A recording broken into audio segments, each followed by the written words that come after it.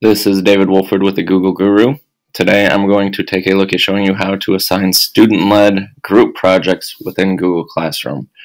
Um, this all came about because I had some people asking, you know, I understand how to create individual assignments with the template, but they wanted the students to have more creative control and they wanted to be able to use groups. So this is one way of doing that. From the teacher point of view, it's just like normal. You start off by creating an assignment. I'm going to call it Google Slides. Show me your skills with the idea that they're just showing me all their editing skills within Google Slides.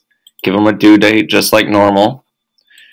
But now you don't attach a template. This is a pretty easy way to go from the teacher point of view. At this point, you're done.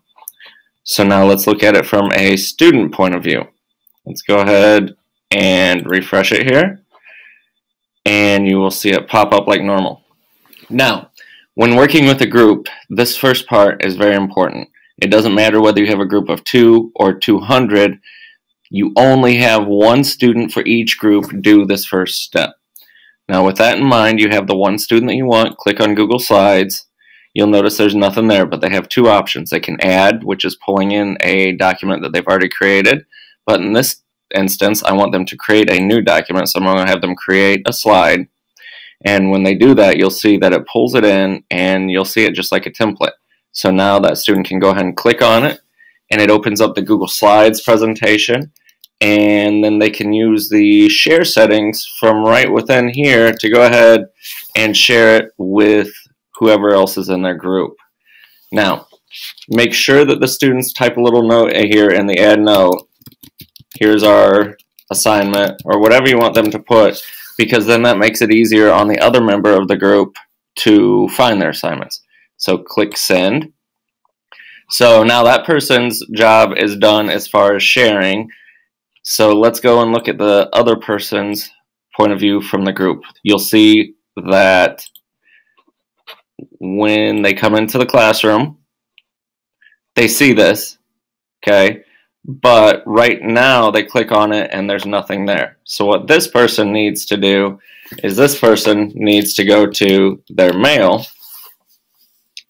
as one way and you'll see they have a couple of emails, one from the teacher and one from their uh, group creator. So they would click on that and it's right there and now they can open it up and they can do what they need to do. It has all the rich editing, collaboration, sharing tools that you see there. Okay. If they really wanted to get to it another way, they could come into their drive area and since it was shared with them, click on the shared with me and it'll be there. Okay. So there's a couple different ways they can get to it. Now they have their time, they do what they need to do, and they're ready to turn it in. So from the student's point of view that had it shared with them, they're not going to have anything to turn in because they didn't create it. So all they need to do is go back to the classroom and mark is done.